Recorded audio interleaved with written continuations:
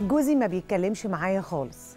جوزي طول الوقت ببوس ايده عشان يقعد معايا يتكلم يشوفني مالي يشوفني إيه اللي مضايقني. ولما بكلمه في الشغل يقول لي طب هو ده وقته؟ طب يعني انت بتكلميني وأنا في عز الشغل يعني وقته ان انت تحكي لي مالك؟ لما يجي حاضر يا سيدي قفلت. جه طب يا حبيبي آه، مش لما نتغدى الأول؟ حاضر. بعد الغدا طب ممكن نقعد بس شوية؟ أنا طفشانة وزهقانة. عايزة حد أتكلم معاه. ممكن تكون عندها مشاكل في شغلها مع مامتها مع باباها مع أخواتها آه، في الشارع. حصل لها مشكلة وهي راكبة مواصلات. طب آه، خلاص كلت. طب خلاص هدخل بقى أنام شوية عشان نازل مع أصحابي. وممكن وهو أصلا حتى في البيت قاعد ماسك الموبايل. طب يا حبيبي مش هتسيب الموبايل؟ هو انت بتغيري حتى من الموبايل؟ هو انت بتغيري؟ طب بتكلم مين؟ صحابي. طب يا حبيبي قلت لك اتكلم معايا شوية. يعني أنا مش فاهم يعني إيه النكد ده؟ أسيب لك البيت وأمشي. كل ده وهي عارفة وشايفة إن في خيانة على الموبايل في خيانة زوجية على ال social media. ايا كان بقى شوفوا أي حاجة حطوها تليجرام إنستجرام فيسبوك ماسنجر شغال كل حاجة. طيب الست هنا واقفة في حيرة. أعمل إيه بقى؟ أسيبه وأخلي ال social media تنفعه واخد بعضي وأمشي؟ ولا أبقى كده أبقى خربت بيتي واستنى ولا امشي. أقول ولا ما أقولش. ولما بقول ببقى مش واثقة في نفسي مع إن أنا ست جميلة وقمر وسيد سيد سيد سيده يتمناني. طب أنا المفروض أعمل إيه؟ هي دي حيرة الستات في الوقت ده. معانا في الاستوديو الدكتور طارق إلياس خبير التنمية البشرية وتعديل السلوك. يا دكتور أخبار حضرتك إيه؟ أهلا بيكي. أنا بكون سعيد وأنا معاكي. أنا كمان والله يا فندم والله دي حقيقة لأن بناخد كلام في الصميم. يعني ب-. ب- بنستمتع بالحوار وبنستفاد كمان. الله يخليك. أنا اديت لك الوضع اللي الست فيه دلوقتي. الحيرة. آه. أقول واواجهك ولا هتطلعني ما عنديش ثقة بنفسي وشكلي يبقى وحش. ولا أسكت بس وأنا ساكتة بغل بقى. أنا بقى بغل بقى ودمي بيتحرق وضغطي بيعلى وما بنامش وما باكلش وممكن أطلع الكبت ده على العيال زعيق وخناق وفي شغلي. انهي أصح أكشفك وأقول لجوزي أنت بتخوني على ال social media وطبعا بنجيب إحنا بقى خلاص يعني في apps دلوقتي خلاص ببقى عارفة بيكلم مين وبيعمل like لمين. استنوا بس هنقول لكم كل حاجة إحنا مش قاعدين ساكتين كده. إحنا عارفين كل حاجة بس عاملين نفسنا مش عارفين. أيوه. الحيرة بقى يا دكتور. آه. هي دي مش حيرة بقدر ما هو غضب. مم. آه إحنا بنجيب كده من الآخر مش من الأول. مم. الموضوع من بدايته إن في حد من جواه حن لأيام عدم الالتزام. تمام. ليه؟ آه. لأن كمية الالتزام اللي هو فيها أو حجمها هو زهق من الالتزام مش من الست اللي عايشة معاه ولا العكس. تمام. إذا موضوع الالتزام هو السبب وهو المتهم الأساسي. تمام. طيب الالتزام معناه إيه بقى؟ إنه لازم يرجع البيت في ساعة معينة. آه. وعندما كان عازبا ما كانش عنده مشكلة خالص إنه يرجع في الوقت اللي يعجبه. طب ما هي كمان ما كانش عندها مشكلة. ما أنا متش حاجة. إيه يا دكتور ما هو- يعني هو الراجل بيزهق والست ما بتزهقش. الاتنين زي طبعا بعض. إحنا متعودين إن إحنا نتخانق عادي. اتخانق زي ما انت عايزة. بس أنا عايز أقول لك السبب الأساسي في ماشي الحكاية. معاك يلا. طيب فلما كان هو إلى حد ما مش ملتزم خدي بالك الحكاية مش حكاية عدد ساعات. آه. الحكاية مطلوب منه إيه عند العودة؟ آه. هي دي المشكلة. تمام. عشان كده. آه.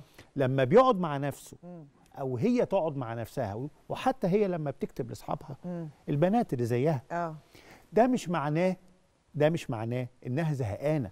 لكنها لقت حد عنده نفس الاهتمام. قد لا يكون زهقانة.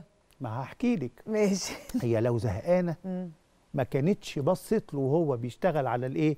على الواتس بتاعه أو على الفيسبوك وقالت له هو أنت ماسك التليفون ليه طول الوقت؟ لا هي مش زهقانة.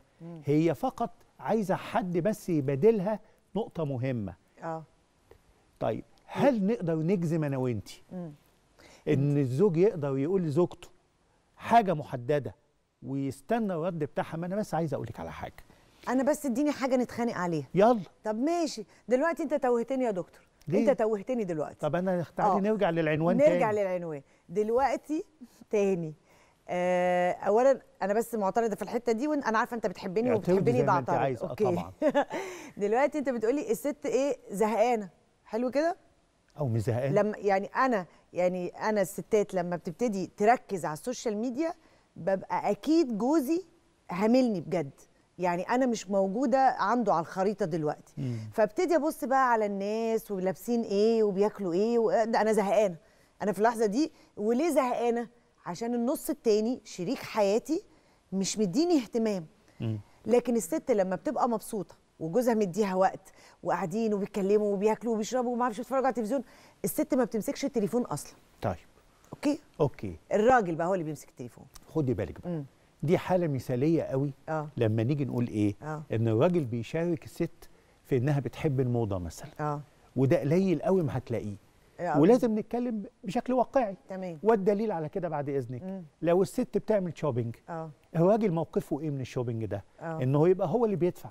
تمام. ولو يقدر إن هو يقعد في أي مكان في الغالب يعني آه. لغاية ما تخلص لفتها وت- ويديها الايه الفلوس اللي هتشتري بيها. آه. بس ما تتعبوش في اللف. تمام. لأن الرجل يختلف عن الست قوي مم. حتى في ال shopping يعني لما يحب يشتري حاجة لنفسه حضرتك آه. بينشن على محل معين آه. في حتة معينة مم. ما بيلفش تاني حتى لو اتضحك عليه أيوه. وما بيقبلش حد يقول له انت اتضحك عليك. طب ويزعل كمان. خلاص؟ ماشي.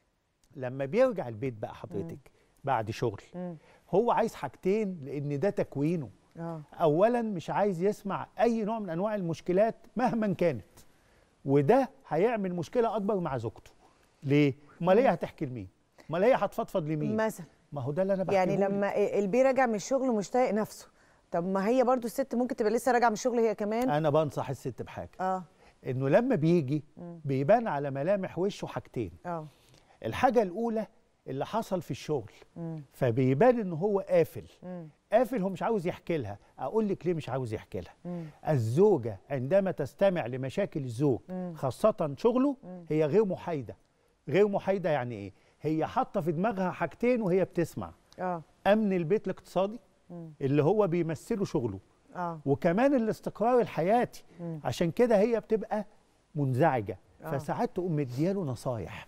يعني تقول له إيه؟ مم.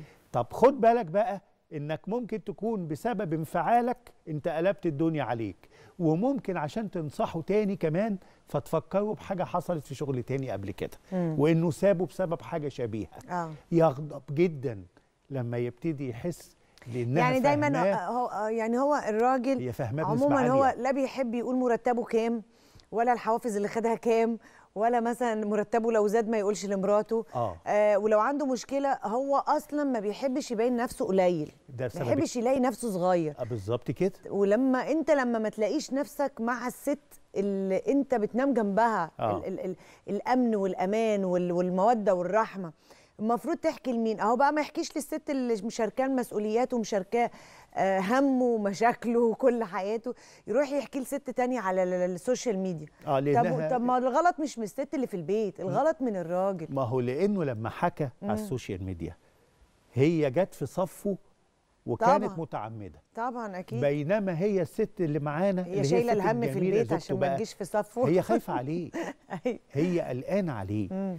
طيب المعادلة دي هي اللي صعبة مم. مش حكاية ال social media ال social media في حد ذاته هو مش المتهم الوحيد أقول لك ليه لأن ممكن الزوج ده يعاكس زميلته اللي قاعدة جنبه في المكتب اللي في الشغل آه طيب من غير لا social media ولا أي إيه حاجة. ولا آه. اي حاجة مم. دي واحدة بيشوفها كل يوم آه ممكن يعاكس عميلة آه. ممكن الست نفسها آه. وهي رايحة مكان ما بتشتري منه أو أو أو هتروح النادي حد برضه يكون مهتم بيها. ماشي. بس ده برضو خلاص الحياة كلها أنا بتعاكس وهو بيتعاكس وكل الناس ده تمام، طبيعي. ده طبيعي.